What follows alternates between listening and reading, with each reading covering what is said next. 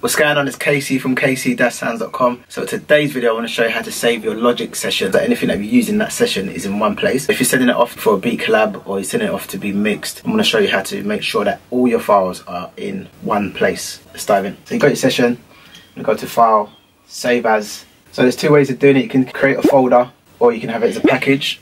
I like to have folders. I just use normal folders. So what I'm going to do first is save it as a package so you can see what that looks like and how you can open up the package and go inside and make sure your files that you use are there. So first of all, we're going to save that as a package.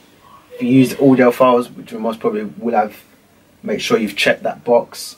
If you use the EXS sampler or you use the Alchemy sampler, the Ultra Beat player, if you use Space Designer, anything that you've used at all in that session, make sure you check that box. I'm going to save this as a new folder and put YouTube because I don't want it to confuse things and then hit save. It'll be saved in your default folder, which will be your Logic Pro or your Logic Pro X folder, so you know for next time where it is. So we'll hit save. That's saved now. So as you can see here, you've got the all out drill type B YouTube, and that's how it's going to look. And you can see the difference between the two.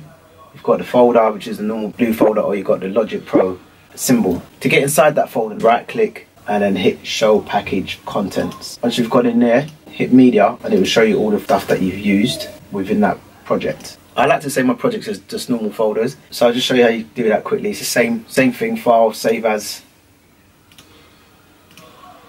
Instead of clicking package, you want to click on folder. So I'll click folder, put two on the end so it doesn't confuse logic.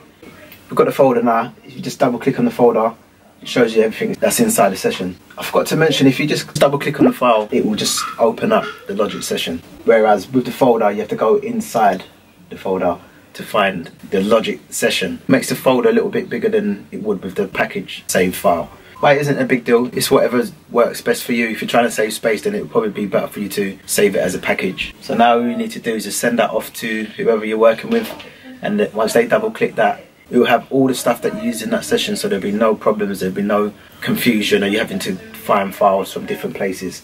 Feel free to hit me up on Instagram if you've got any questions or drop a comment below if there's something you're not too sure about or there's a video you want me to cover. If this video has helped at all, hit the like, hit the subscribe button. Make sure you hit that notification bell as well so you get notified anytime I put up something new. As per usual, I appreciate your time and thank you for watching. Music is life. Peace.